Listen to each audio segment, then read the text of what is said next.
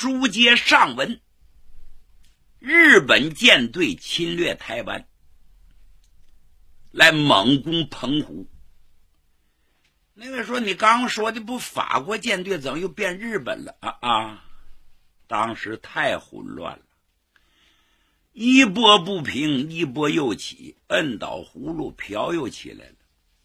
中国当时腐败无能，软弱可欺，这些列强纷纷伸手，刚答对完一个走了，又来一个。现在日本已经崭露头角。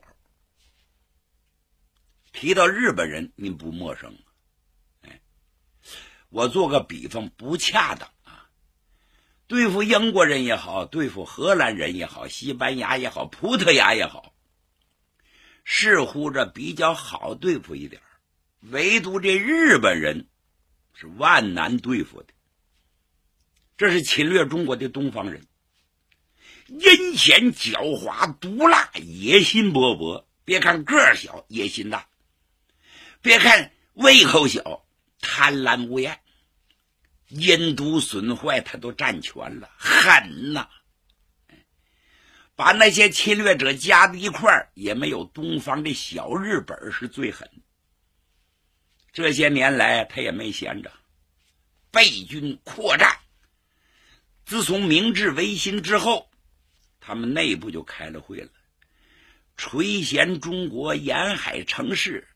垂涎中国的国土啊，中国是他的近邻呐，他把中国的情势摸得清清的，哎，就等着出兵呢。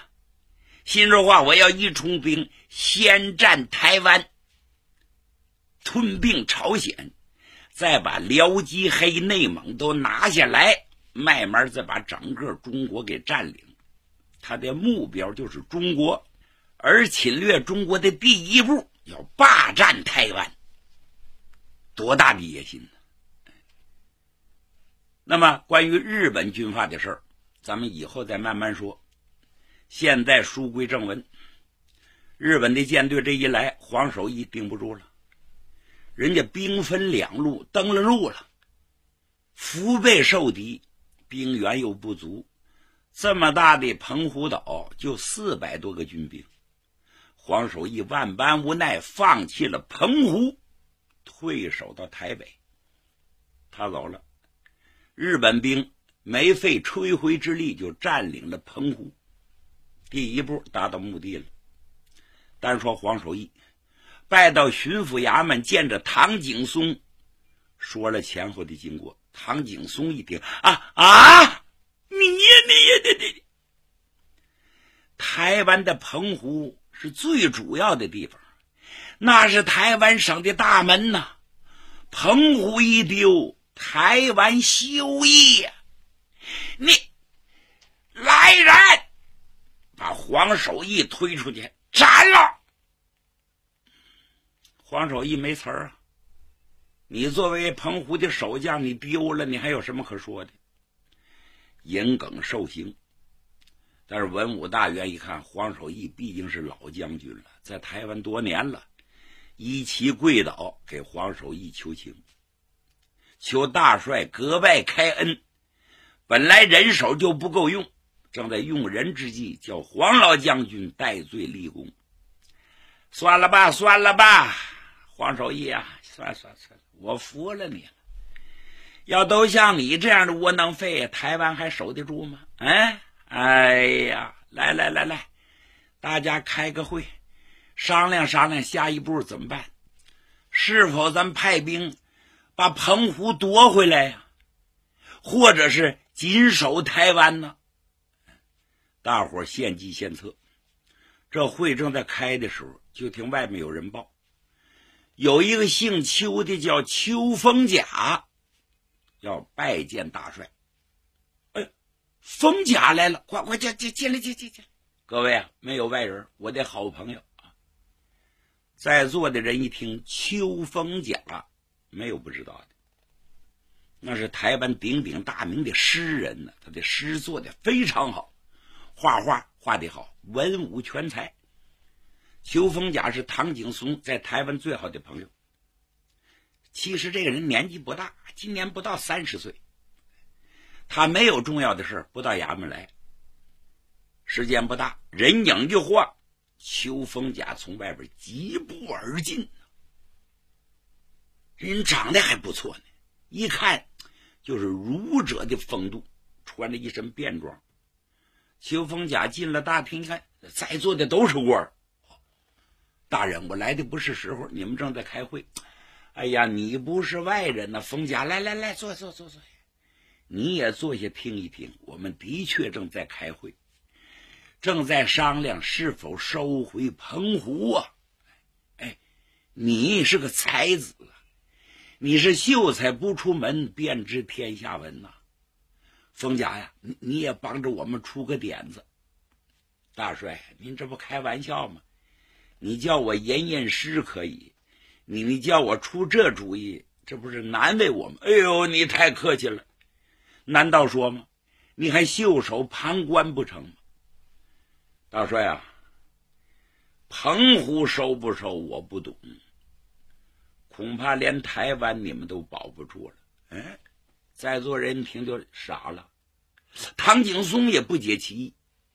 冯甲，这不是开玩笑吗？怎么叫开玩笑？您看看这个。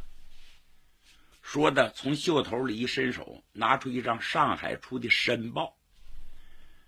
当时到了光绪二十几年呢，电报、电话基本都有了。都，你在东西欧各国，你这都发展起来了，唯独中国还是稀罕物。但是电报基本普及了，报纸也办了。最有名的就是上海的《申报》，专门报道时事，因此每个人都订《申报》看一看，了解当前的大事。这个秋风甲也订了一份，把报纸拿出来，您看看。现在中国和日本已经交了战了，您再往下看，哗，众人全围拢过来了。一看大字标题：“甲午海战。”中国北洋水师全军覆没，邓世昌牺牲，水师提督丁汝昌自杀。这个消息十分震惊啊！北洋水师也全军覆没了啊啊！你再往下看，朝廷派李中堂啊，跟日本正在讲和，正在谈判之中。谈判什么结果不得而知，但是这评论员你看怎么写的？日本人在谈判条件之中可能有一条，要叫清政府割让台湾和澎湖。你看看这条没？各位啊，无风不起浪。外国人评论这玩意儿不是没有根据的，肯定日本有这种野心，就冲他出兵占据澎湖，就说明这一点。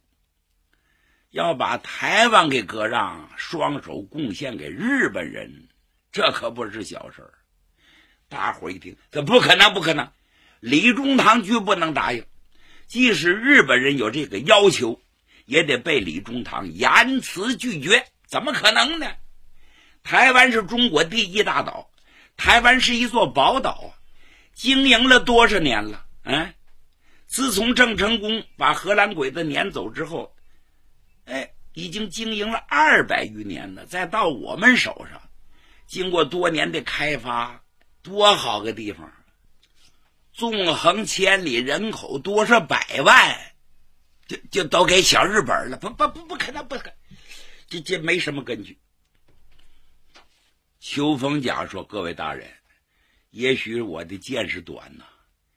现在我们国家的政府太软弱了。”什么都可能做得出来呀，哎，我的意思，先不着急收复什么澎湖，能把台湾守住就不错了。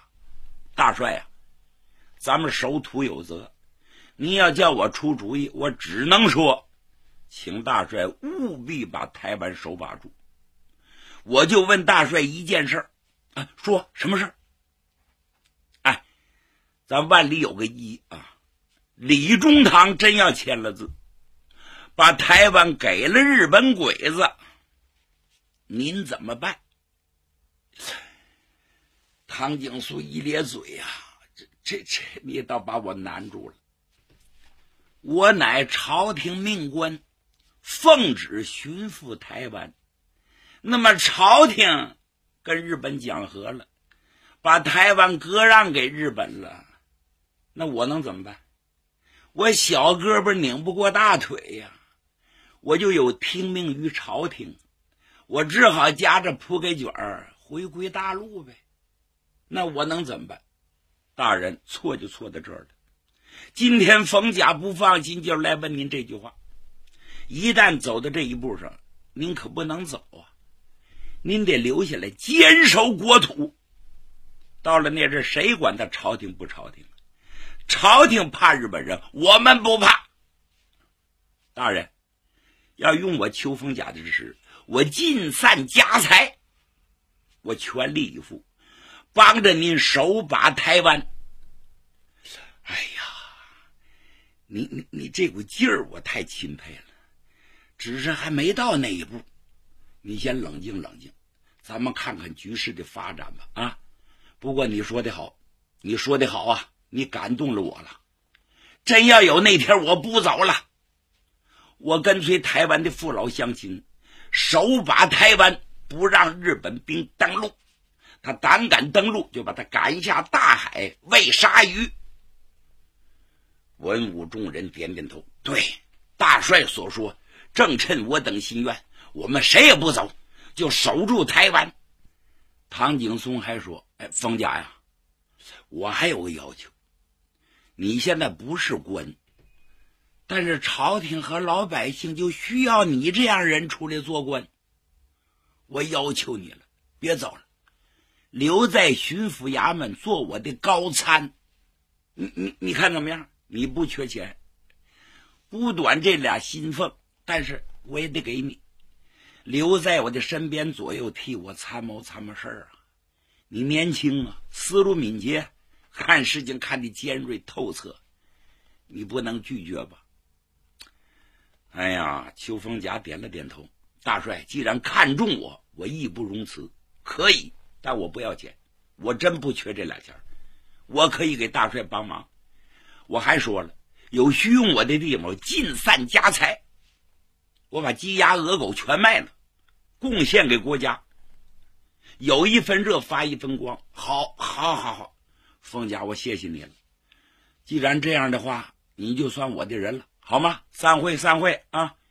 赶紧布防海防，以免日军侵入。邱凤甲帮着唐景松。到海岸视察，哪块应该派多少兵，哪块应当加几门炮，怎么防守是日夜巡逻。到了四月十七这天，又看着申报了。邱凤甲把报纸往桌上一摆：“大帅过目吧，您看这报纸上登的什么？”啊啊，拿来我看。再一看，唐景松就堆在椅子上了，脸跟白纸一样，嘴都合不上了。那上登的是什么？李中堂、李鸿章在日本的马关春帆楼上，与日本首相伊藤博文签署了停战协议。日本人提出的要求，李鸿章是全部答复，全答复，而且签了字了。这就是历史上臭名昭著的《马关条约》呀。唐景松的手都抖了，报纸都拿不住了。哎呀，心说话，李中堂啊，李中堂啊，怕什么有什么？你怎么全答复了？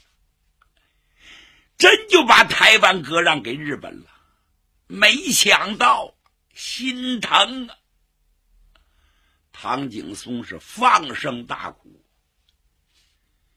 他不能扭转乾坤，一个地方官。能主宰得了国家大事吗？消息传出，巡抚衙门文武官员都来了。怎么怎么回事？怎么回事？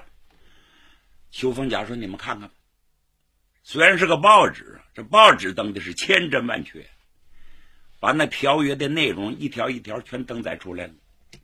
大伙一看，全都发呆了。哎呀呀，日本子太凶狠了！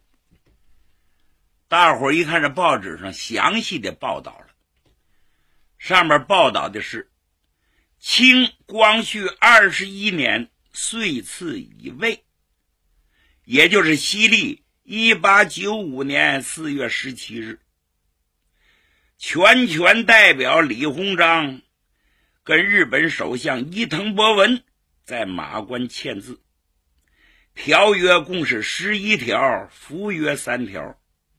主要的是：一、确认朝鲜独立；第二，割让辽东半岛和台湾；第三，赔款两万万两；四、日本人有权在中国开办工厂；五、开放沙市、重庆、苏州、杭州四城为通商口岸，日本船舶有权驶入中国内地；六。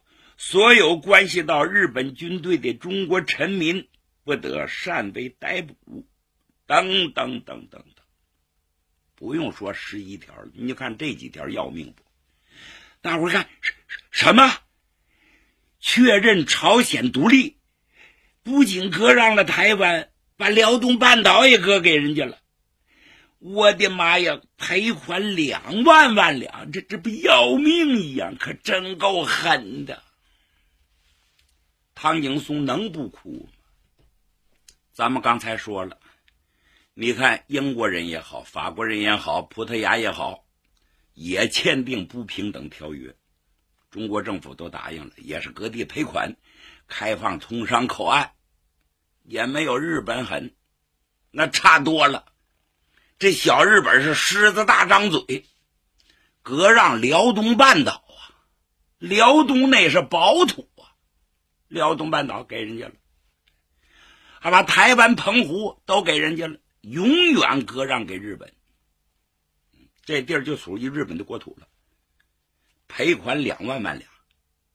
大伙心里头有一笔账啊，这这多少钱呢？那叫钱呢，那叫。现在国家如此困难，给这国赔款，给那国赔款，再给日本两万万两。这等于日本国民收入四年半呢。这下中国算穷到了底儿，日本算富到了家呀！哎呀，这小日本子缺德带冒烟儿。李中堂，李中堂，你你怎么能答应这些条件？你怎么就能签字呢？其实啊，他们还不了解情况。李鸿章。也是迫不得已而为之。你说国家软弱，一打仗就打败仗，在谈判桌上怎么跟人家谈也不硬气呀！你瞪眼儿，我不干，不干，不干，揍你一揍就趴下。那跟现在没法比呀！现在在中国共产党领导下，中华人民共和国多硬气呀！我们的中国人民解放军是天下无敌的军队，谁敢这么欺负咱们？也慢说要辽东半岛和台湾占我们一寸土地，得把打出去。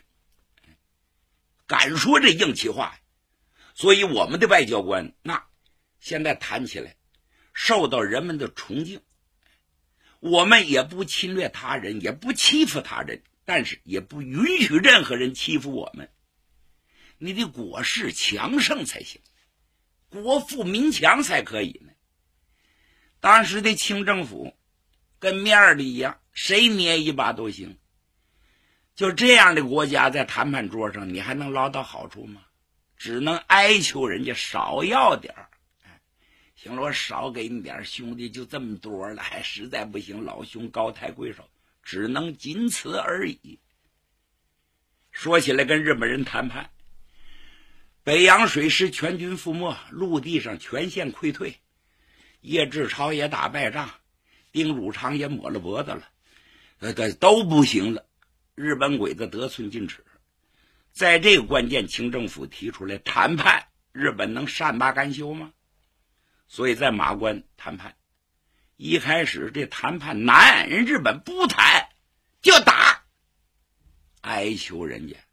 找英美公使出面周旋，哎，让日本人冷静冷静，坐下来咱谈谈。你们打仗的目的是什么？不需要条件，要条件你说呀！你这何苦的你？